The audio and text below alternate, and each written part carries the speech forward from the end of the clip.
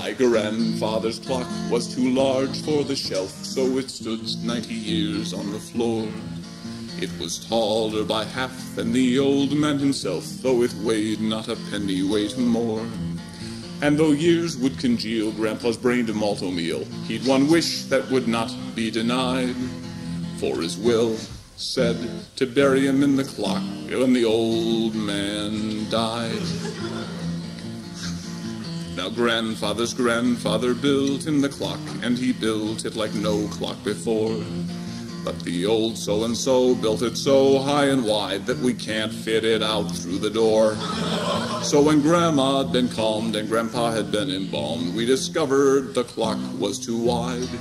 But the goddamned cadaver had gotten jammed. He was stuck inside.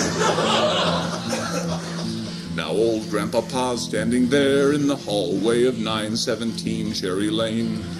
And he stands the old cuss making faces at us, which we try to ignore just the same.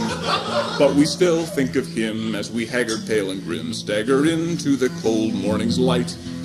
For at odd times, he's ringing the fucking chimes every goddamn 3.22 a.m., ding dong, ding dong. My God, there goes Gramps again. Ding. At odd times, he's ringing the fucking chimes every goddamn